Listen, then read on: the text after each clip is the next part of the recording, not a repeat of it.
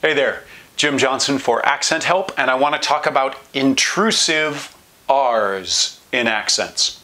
So, I talked really recently about a linking R, and that's when you get an R like at the end of a word that, that, that would get dropped in a non rhotic accent, which means that it's an R dropping accent. Fear.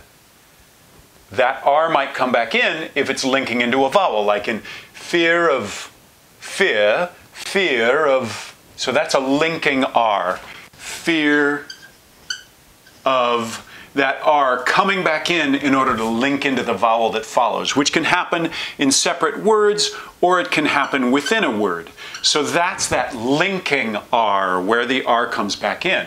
Now, what else can happen is that you can get an intrusive R in these non rhotic accents.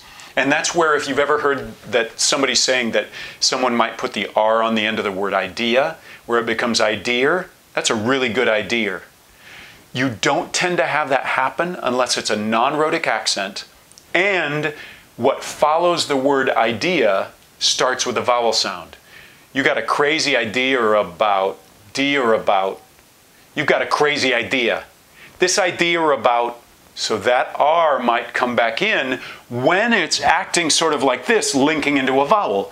Whereas fear, all by itself, the R would just drop. Fear, fear, fear of, it comes back in there. Same thing with a word like idea. Idea, idea of, there you might get an R that comes in in this act of trying to link between vowels even though an R doesn't tend to exist there, well, doesn't, does not exist in that word there, and that people don't tend to say that sound. You will very rarely hear somebody say idea, but you might hear them say idea about, idea of. So it may come in to link into a vowel. This will be really common after what comes out as a schwa sound. It may also happen after an ah or an aw sound. So you may have it happen after the word saw. I saw him. Or we went to the spa and had a nice day. The spa, right? So it may come in after these. This is where you're going to hear it a ton, partially because there are so many things that end with a schwa like that. Like, think about various continents and countries. Africa is, Asia is, America is.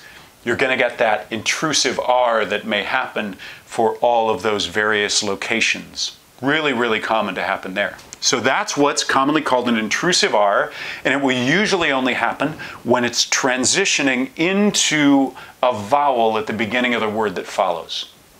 There you go. For more info on accents in general, check out accenthelp.com.